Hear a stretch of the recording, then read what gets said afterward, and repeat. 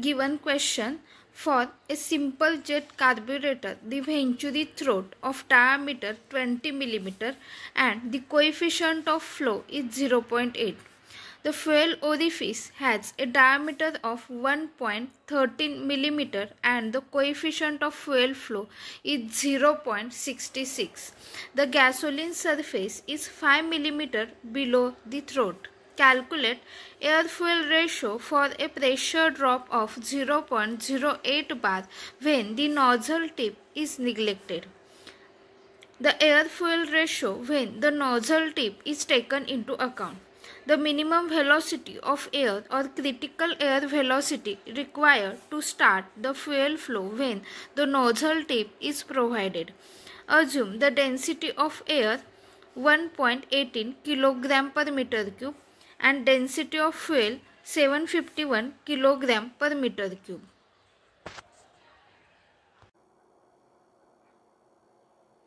This is the question of simple jet carburetor and we know that at the air inlet we will use the suffix 1 at the venturi throat we will use the suffix 2 and at the fuel metering orifice we will use the suffix f.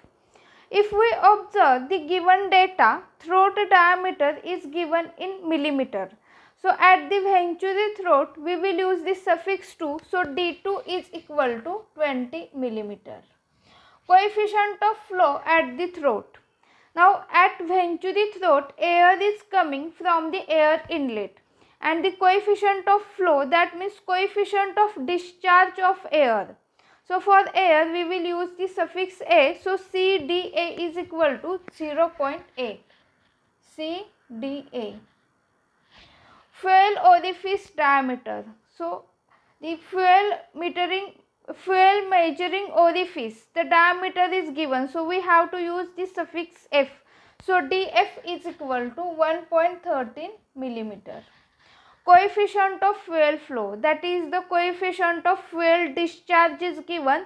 So how to use the notation cd and for the fuel we will use here the letter f cdf 0.66 gasoline surface 5 millimeter below the throat. So we know that the throat and the surface of gasoline that means gasoline is known as the petrol and this is the fuel in the fuel tank. So the difference in between this throat as well as the gasoline surface is 5 millimeter that means the value of H is given 5 millimeter. So from this we can write here H is equal to 5 millimeter.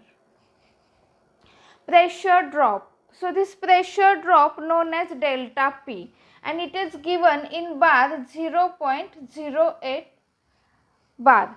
So standard unit is Newton per meter square. So we can also use the uh, unit that is 0.08 into 10 raised to 5 Newton per meter square. Now the condition is given minimum velocity also known as critical velocity is when the nozzle tip is provided.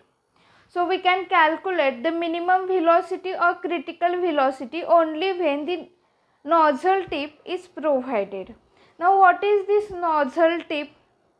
So the height of the nozzle above the surface of the fuel or surface of the gasoline is known as the nozzle tip. So we have to always consider the nozzle tip when to calculate minimum velocity or critical velocity. Now air density is given. So density of air. So notation is rho. So for air we will use the notation rho A is equal to 1.18 kilogram per meter cube and the fuel density that is rho F is given 751 kilogram per meter cube. So this is the given data. Now what we have to calculate? We have to calculate air to fuel ratio A by F ratio with these two conditions. First condition when nozzle tip is neglected and the second condition when the nozzle tip taken into account. So for these two conditions we have to calculate air to fuel ratio and we have to also calculate minimum velocity. So condition is given when the nozzle tip is provided. So we have to use the formula to calculate minimum velocity when the nozzle tip is provided. Now we will first calculate the air to fuel ratio when nozzle tip is neglected. So first condition when nozzle tip is neglected. So how to calculate air to fuel ratio? So first we have to calculate mass flow rate of air and second mass flow rate of fuel then we will take the it's a ratio. So mass flow rate of air that is m dot a and when nozzle tip is neglected we have formula CDA that is coefficient of discharge of air multiplied by cross sectional area at the throat that is A2 under root of 2 rho A delta P. So this is the formula to calculate the mass flow rate of air. So here why A2 because the air is flowing at the venturi throat and at the venturi throat we will use the suffix 2. So, here area is A2. Now, second mass flow rate of fuel. So, for fuel we will use m dot f is equal to coefficient of discharge of fuel that is CDF multiplied by AF. So, this area which area we have to calculate. So, here the fuel orifice diameter is given. So, fuel uh, orifice area we have to calculate that is AF under root of 2 rho F delta P. So, we have to take the ratio A by F that is m dot A by m dot F. So, we will take the ratio to the right hand side. Now, this A2 and AF we will write the formula. So A2 is pi by 4 D2 square and AF is pi by 4 DF square and we have to write the same we have to continue the same formula. So this pi by 4 pi by 4 is getting cancelled.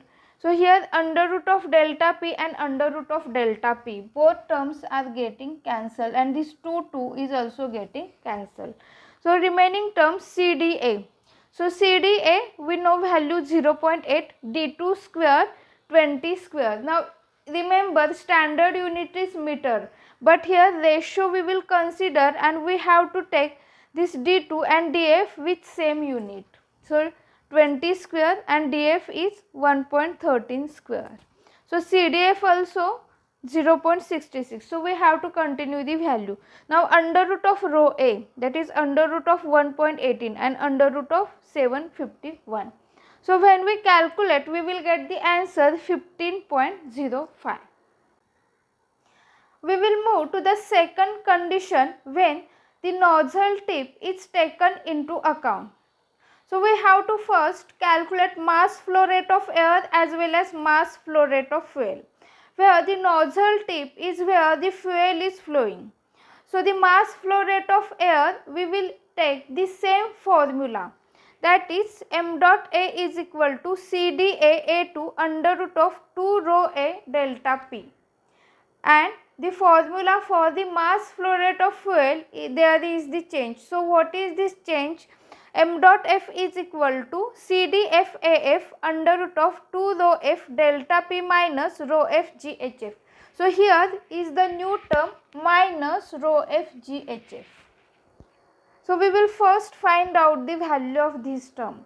So what is rho f density of fuel that is 751 g 9.81 meter per second square that is the acceleration due to gravity and hf so HF that is the gasoline surface 5 millimeter below the throat. So this is the height difference in between this throat and the gasoline is used as a fuel. So this is the fuel surface. So because of fuel we have used here the term HF. So H is 5 millimeter but the standard unit is meter. So we will take 5 into 10 raised to minus 3. So what is the answer we will get in terms of Newton per meter square that is 36.836 Newton per meter square. Now we will calculate this whole term delta P minus rho F G H F because this term is in Newton per meter square this delta P we have to consider in Newton per meter square. So 0.08 multiplied by 10 raised to 5 Newton per meter square. So that is equal to 8000 Newton per meter square. So when we calculate this whole term then we will get the answer 7963.17. Now we will calculate air to fuel ratio that is the mass flow rate of air divided by mass flow rate of fuel. So A2 and AF we will simplify that is pi by 4 D2 square and pi by 4 DF square. So here D2 and DF if we observe having the same unit and because this is the ratio we will take as it is that is in millimeter. So this pi by 4 pi by 4 is getting cancelled. CDA and CDF. So the values are given we will take as it is. Now the under root term. So here delta P. If we observe for this whole term here the unit is Newton per meter square. So for this delta P also we will use the same unit Newton per meter square that is 0.08 into 10 raised to 5 Newton per meter square. Now this rho A and rho F values are also mentioned in the question. So when we solve for numerator 4396.9.4 and for denominator 2914.5. So when the answer calculated we get 15.08. Now we will calculate minimum velocity of the air. So the condition is given that minimum velocity or critical velocity when the nozzle tip is provided. So we know that when the nozzle tip is provided, we have to consider the term rho f g h f and calculate the minimum velocity or the critical velocity of air. So the condition is that when delta p is equal to rho f g h f. So we have to satisfy this condition to calculate the minimum velocity or critical velocity. Now we will assume the velocity at air inlet C1 is equal to 0. So, the air is flowing from the air inlet to the venturi throat.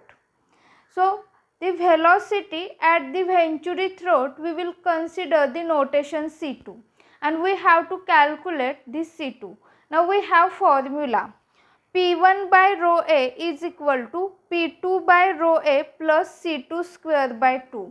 Now with the use of this formula we will calculate the value of C2. Now I will transfer this P2 by rho A term to the left hand side. So we will get P1 minus P2 by rho A is equal to C2 square by 2.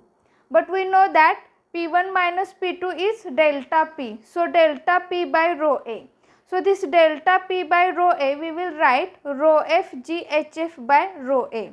So I will write C2 square by 2 is equal to rho f g h f by rho a and we have to calculate this C2. So, I will transfer this 2 to the right hand side and we will take the square root on both the sides. So, C2 is equal to under root of 2 rho f g h f by rho a. So, when we put the value, so rho f value is 751, g 9.81 and hf is 5 into 10 raised to minus 3 because it is in millimeter divided by rho A that is the air density 1.18. So when we calculate we will get 7.9 meter per second because this is the velocity at the venturi throat the unit standard unit is meter per second.